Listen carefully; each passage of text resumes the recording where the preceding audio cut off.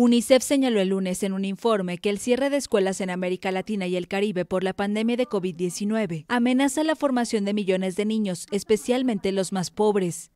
El organismo instó a reabrir los colegios con protocolos de bioseguridad necesarios para que los niños sigan su ciclo educativo.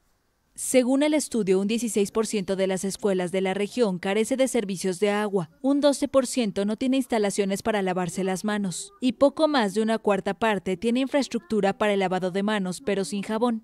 El informe indica que la pandemia ha privado al 97% de los estudiantes de la región a continuar su educación habitual, debido al cierre de las escuelas para contener la propagación del virus. UNICEF alertó que la pérdida de clases tiene implicaciones graves para el futuro de los niños y que cada día que pasa se va dando forma a una catástrofe generacional, con profundas consecuencias en la sociedad.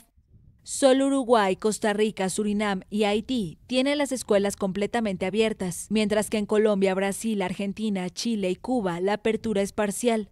El cierre prolongado de los colegios, que en algunos países supera los siete meses, impide el regreso a las aulas de 137 millones de niños de la región, aunque más de un tercio acceden a educación a distancia.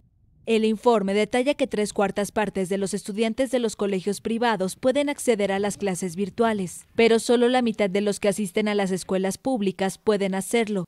Un 21% de los niños y adolescentes de los hogares más pobres no reciben ninguna educación, en comparación con el 14% de los que pertenecen a los hogares más ricos.